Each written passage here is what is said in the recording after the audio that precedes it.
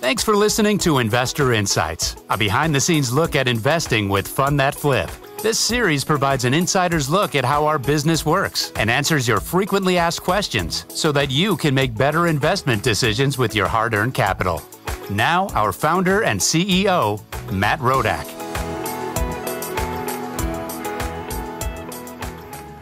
Thank you for joining on this episode of Investor Insights. This is Matt Rodak, your host, founder, and CEO of Fund That Flip. Today, we are going to be talking about the latest and greatest product we recently rolled out, the Pre Funding Note Fund, or as we call it, PFNF. This is a new product that allows investors to passively invest in a diversified pool of short term real estate backed loans via a short term line of credit. We'll be covering how it works, why you might want to invest in it, and answering some frequently asked questions about PFNF. Now, in case you're picking this up on one of the podcast applications, wanted to let you know uh, that we're doing a PowerPoint presentation to go with this one to help explain some of the concepts. So while we'll talk through everything, it may be beneficial to go on over to our blog at fundthatflip.com and watch the video of this episode as well. All right, before we jump in, just a message from the legal team. Past performance is not indicative of future performance. No returns are guaranteed, and these types of investments involve a high degree of risk.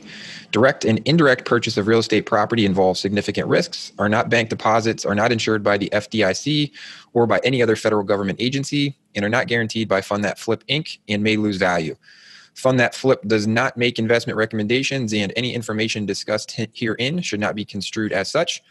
Before making any investment, you must read the related private placement memorandum and investment documents. We recommend that you consult with a financial advisor, attorney, accountant, and any other professional that can help you uh, to understand and assess the risks associated with any investment opportunity. Fund That Flip Inc. is able to make investment opportunities available only to accredited investors who submit required verification. Okay, agenda for this special episode. Uh, we'll be giving a quick company overview talking about the reason we developed this product some of the benefits of investing in these offerings how the various fund that flip entities all relate to one another how the series note offerings works uh, how the fund generates income and liquidity and then we'll wrap up with some frequently asked questions. All right so first and foremost why do we exist? Our mission statement here is to enable our clients to create wealth and improve communities by investing in real estate and we do this for two distinct groups. For our borrowers, we do this by being a responsible source of capital so they can profitably scale their business. And for lenders on our platform, we do this by giving them access to high quality loans. To date, we financed over 400 million of projects, returning over 200 million back to investors. We've paid out 20 million in interest payments. Uh, this is on uh, 1,400 loans with the average size of around 300K per loan. Historically, the gross yield on our loans has been just under 11%, uh, we've been doing this now for just over five years, and we have 42 employees, all specializing in real estate, investing, and technology. And we've raised uh, just over $13 million of venture capital dollars. Um, we've also made the Inc. magazine fastest growing private companies now for two consecutive years. We've been featured in Forbes, Yahoo, American Association of Private Lenders, and we're uh, most recently just ranked number 17 on the Financial Times fastest growing companies. This is all to say we've been at this for some time now and have uh, have found some reasonable measure of success both on our portfolio as well as rec- recognition uh, you know from from others. All right so why did we come out with this new product? Uh, it's important to note that this product has been in the works since uh, since really the um, the end of 2019 and is really a result of the feedback we have received over the years from investors on our platform there has been uh, some consistent themes over the years from investors, which is what led to us developing this product. Uh, the first thing that we, we heard was that investors investors wanted the ability to maximize diversification across borrowers, geographies, and properties.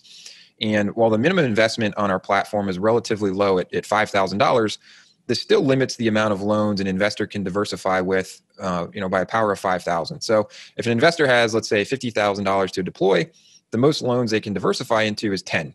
So, one area we were trying to solve for was ability to gain broader diversification while still keeping the, the minimum investment size around $5,000, which is about as low as we can go for it to make sense for our business.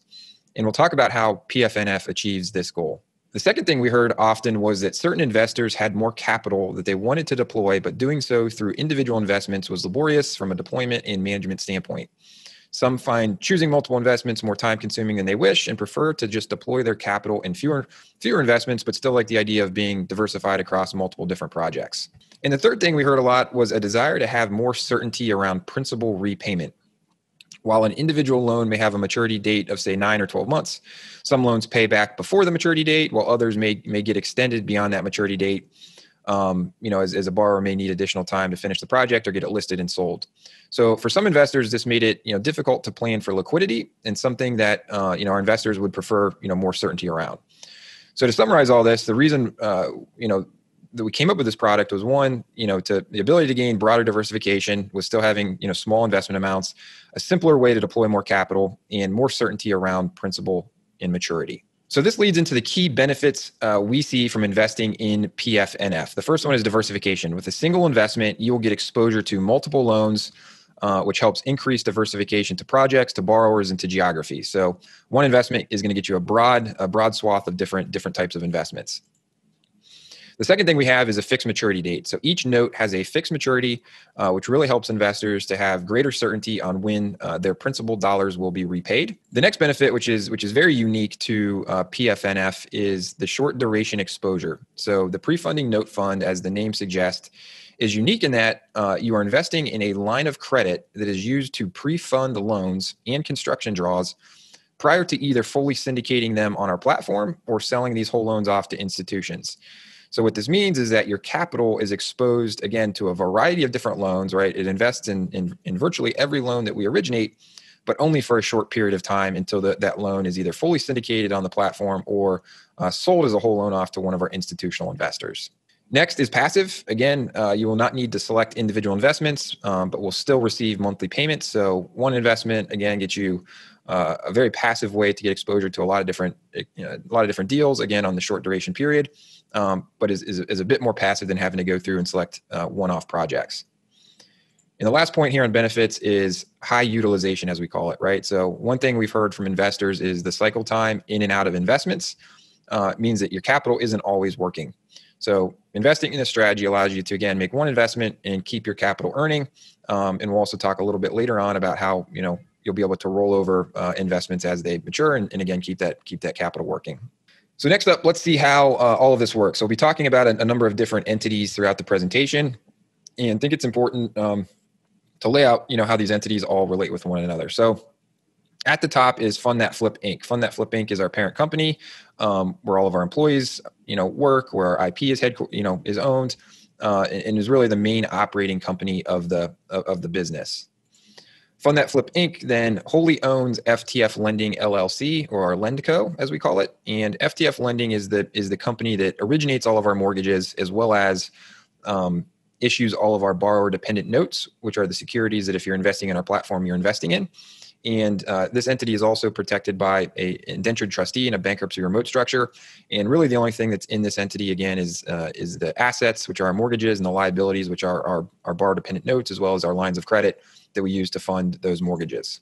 The other entity um, is called FTF Fund Management LLC. This is the entity that was set up to manage our different uh, our fund structures. So again, this is wholly owned by Fund That Flip Inc. And this is the entity uh, that manages uh, the next entity here, the pre-funding note fund. So uh, FTF Fund Management is really uh, set up just to to be the manager of the fund.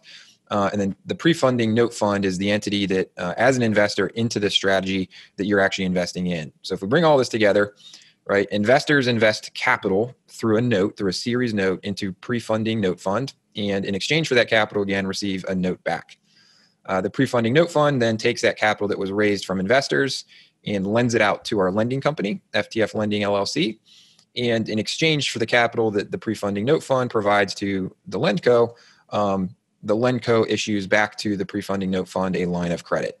So these are the different entities that are involved um, in terms of how you know capital gets into uh, the note fund and then back over to lending to again pre-fund uh, new loans as well as to fund construction draws before they're either syndicated or uh, sold as whole loans to investors. So throughout the discussion, I've, I've mentioned a series note listing, right, or series note. So what exactly is a series note? The short answer is that it's a security that you're purchasing when you make an investment into PNF, PFNF.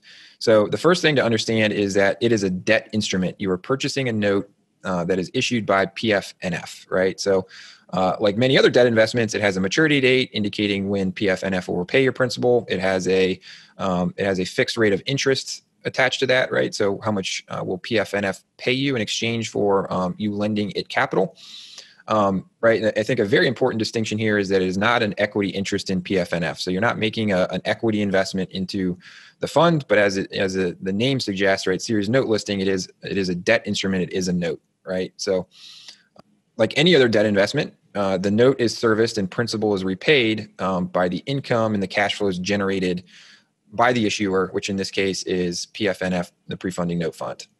Uh, so, at a very high level, again, the thing to remember here is you are investing in a debt instrument. Uh, debt instruments have maturity dates, they have principal payments, they are not equity investments, and that note is serviced by ultimately the cash flows that the entity, right, PFNF, generates from uh, its business operations. So that begs the question how does PFNF uh, generate money and how does it uh, ultimately uh, earn income to service the note? So uh, PFNF invests the capital that it raises via, the, via these series notes into a pre funding line of credit, again, issued back to FTF lending. So um, PFNF is going to generate income from interest payments um, made by borrowers related to these underlying mortgages that are ultimately secured by the line of credit. So line of credit gets issued from uh, you know, from PFNF to FTF lending.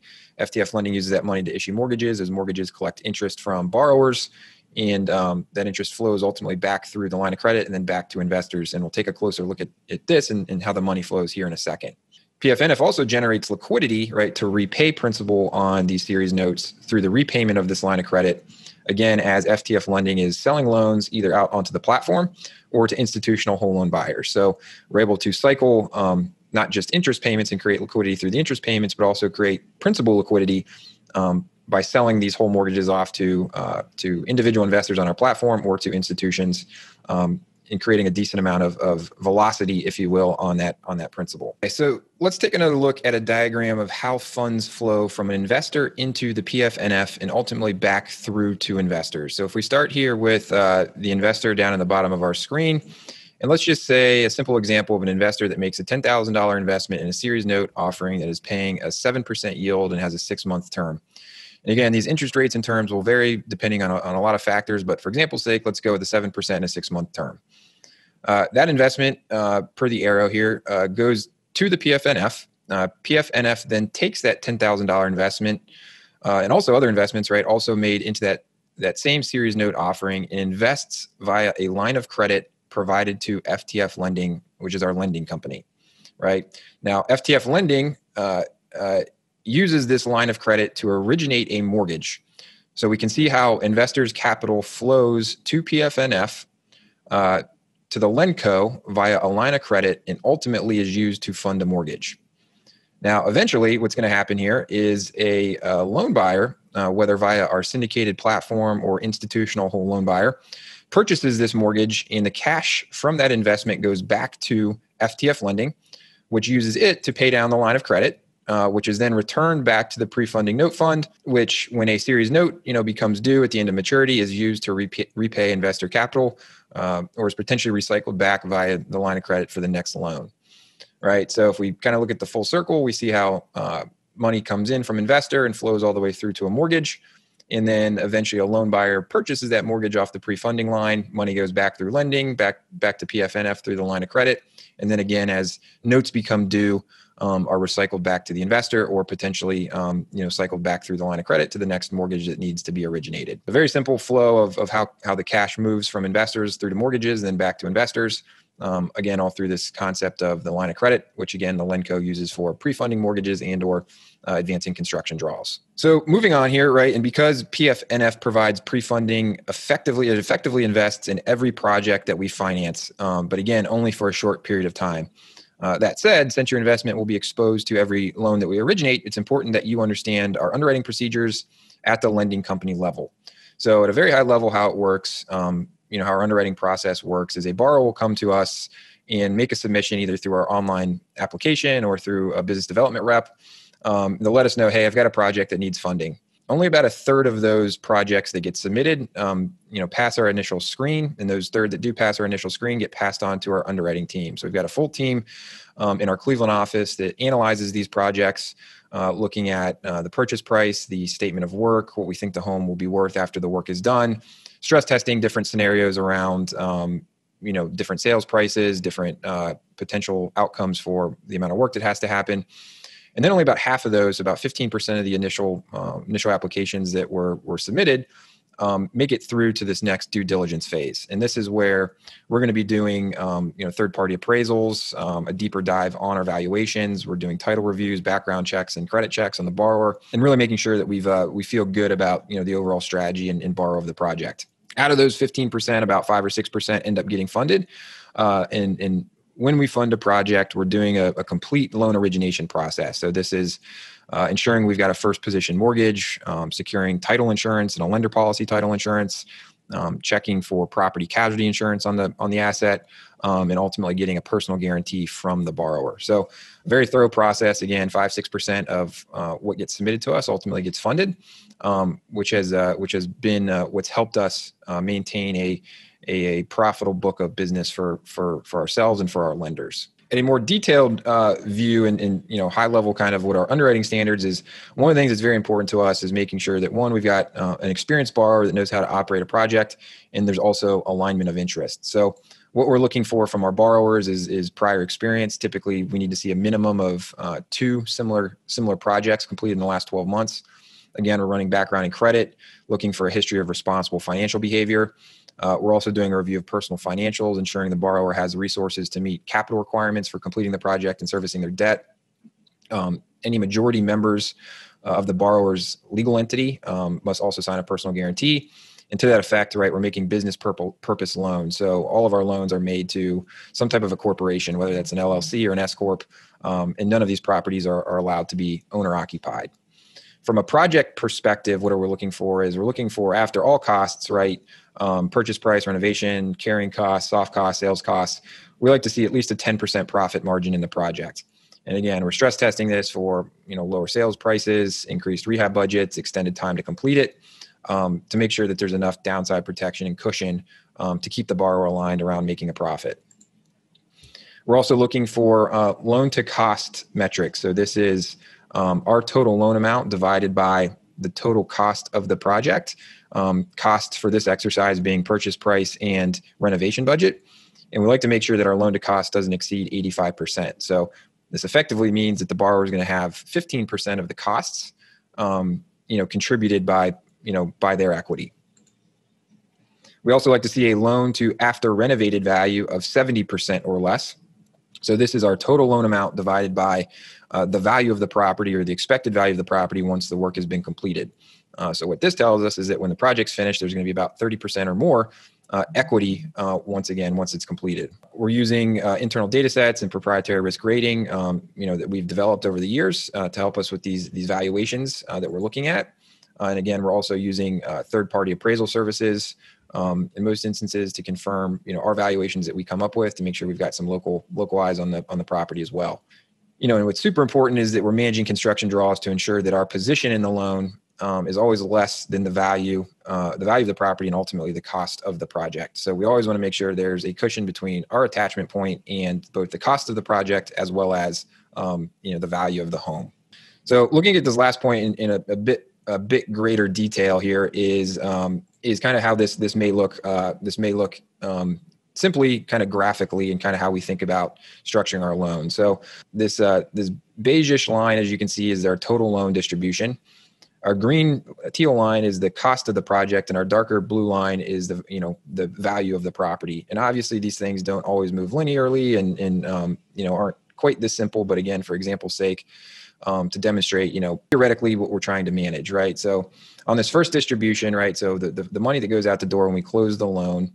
Um, is always going to be less than both the value of the property as well as you know typically the cost of the project at this point is similar to the value of the property. Assuming if you know they're buying the house for $100000 the house is about worth $100000 so this first uh, cushion here right is our, our loan distribution. We always want to keep that um, 15% below uh, this this cost of the project right? So um, we follow these lines right and we get to the second distribution right? So at this point the borrower has progressed some work has maybe you know done some of the the painting or the new floors or installed the kitchens or whatever the case may be, depending on the the project's budget.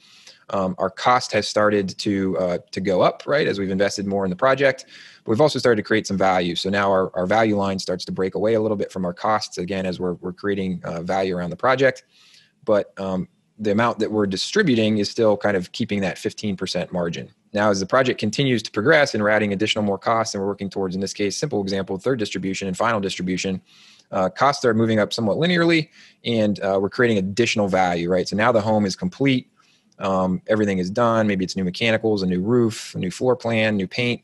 This is really where the value is created by our customers, by our customer, by our borrowers, right? So by the time we get done, our distribution and the value of the property again on a minimum basis um, should have created a 30% uh, profit margin or, or cushion um, from our attachment point relative to the value of the property so again a somewhat simplified example but um, used to demonstrate you know how we're trying to manage um, our distribution from a from a loan perspective relative to the cost of the project as well as relative to the value of the property as, as that value is going up as work is being done on the on the home. So moving kind of into the the next phase here and a question that we get is you know how's our portfolio performed um, particularly in light of you know our growth over the years? And um, what we like to show is the consistency in our our uh, different ratios that we underwrite to. So um, quickly we'll go through this right? So we've talked about average after repair ltv so again this is the total loan amount divided by the estimated after repair value. And as we saw on a, on a previous screen we like to keep that under 70% and as you can see, kind of going back 12 plus months, uh, historically, the loans we've originated have been more in that 60 to 65% range, right? So, you know, well within our, our, our comfort level of keeping it under 70, uh, and more importantly, typically keeping it under 65. So again, um, projects complete, our loan amount dispersed, we've got about a, you know, 35, sometimes 40% margin uh, or cushion in terms of, you know, our attachment point and the relative value of the property the next metrics that, that we look at that we think is very important is the average as is loan to value. So this again, if you look at the definition here, this first distribution, right? How much money do we put out the door when we originate the loan divided by the purchase price? And again, we're trying to keep this under, you know, 85%, 80, 85%, so that our borrower always has, again, 15, 20% um, equity, right, in the project ahead of us. And as you can see, again, over the past 12 or so months, 12 plus months, uh, we've, we've, we've historically been in the 70, 75, 80 range. Um, again, so this is saying that, you know, our borrowers are coming with, you know, at least 15%, but in most cases, uh, more than that, 20, 25% down payments, um, which again, we think is good from a, a risk perspective and particularly for this uh, PFNF product, this is the loan to value that really matters for this short duration uh, pre funding line before the loan's ultimately sold or syndicated. And the last one that we look at here is the average loan to cost. So, again, this is the total loan amount divided by the sum of both the purchase price and the estimated renovation budget. So, again, keeping um, our total loan amount as a percentage of cost under that 85% mark. And again, looking back over the past you know, more than a year, um, this is what our data looks like. So, keeping it into that 80 85 band uh, for the most part um, again, uh, demonstrating that our borrowers are well aligned with uh, with their own capital in the projects. All right, so to keep us m- moving along here, some frequently asked questions that we we often get about the pre-funding note fund specifically. So the first question that we we often get is, how will my investment be treated from a tax perspective? So the answer to that is because this is an interest-bearing investment, you will receive a 1099 INT and we will uh, we will strive to have these to investors by the end of February. So you will get a, a 1099 uh, with all of your interests earned specifically from PFNF. Next question is Is there a cap on how much can be raised into the fund? And the answer to this one is the fund is open ended, um, meaning we may raise additional capital or reduce the assets on a proportionate basis at any time. And again, because we're raising capital into this fund via debt, um, gives us a, a, decent amount of flexibility to you know uh, flex up and flex down depending on how much capital is needed to fund the forward pipeline on a, on a pre-funding basis. Next question is how will interest distributions be made? So the PFNF will be making uh, distributions of interest income on a monthly basis, very similar to how we do um, on all of our other investments.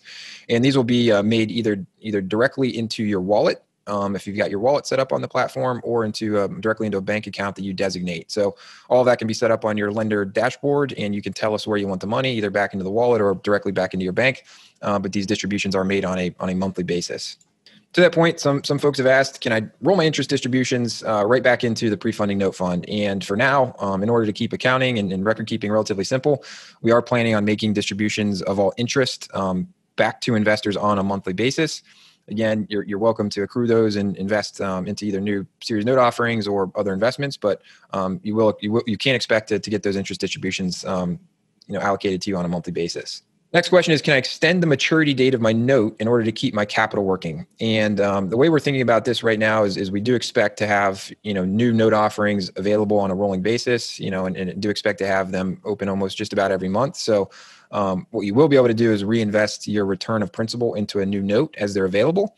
Um, and, and likely what we'll be doing is as we're approaching maturity dates, uh, will be giving investors that you know are about to mature an opportunity to invest in uh, new notes that are either currently open or will be opening you know in the in the near term. So not exactly a rollover, but um, you know in, in a lot of ways it will will provide a, a, very similar function. Next question is what happens if fund that flip fund that flip goes out of business? So what if our, our parent company goes out of business? So the assets of the, the PFNF are pledged to an indentured trustee uh, providing a very similar bankruptcy remote structure that we have for all of the investments on our platform. So if, if Fund That Flip were to, to, to become in default, right, under the indenture, uh, which includes a, a, bankruptcy or an insolvency, uh, this trustee, this third party indenture trustee would step in to um, start to manage the cash flows of the fund per that indenture agreement. And that indenture agreement is available as part of the materials to you when you make an investment and, and would certainly encourage everyone to, to check that out. And then last, what are the underlying assets of the fund? Uh, we talked about this, um, you know, throughout the presentation, but uh, the main asset and really the only asset of the, the PFNF is this line of credit that we've issued to FTF lending. Um, so there's the line of credit as well as obviously cash that's held in PFNF that's not currently deployed um, into into the line of credit right? And again, these proceeds are uh, are, are provided to fund these these these underlying uh, mortgages secured by residential real estate. So that is it. Really appreciate you guys taking the time to learn a little bit more about our, our newest product, uh, the PFNF. We're very excited about it. We've had uh, a great early reception um, to this from investors. And look forward to continuing to to grow it and continue to make um, this product available to our investors. If you have any additional questions that were, not answered here, please feel to send us an email at investorrelations at fundthatflip.com, or you can always give us a call at 646 895 6090. Otherwise, check out fundthatflip.com. Uh, we've got PFNF offerings open pretty much on a rolling basis right now and, and into the future. So again, thanks for uh, thanks for listening. Hopefully this was helpful. And again, any questions, feel to re- feel free to reach out out to us anytime. That's it. Matt Rodak signing off.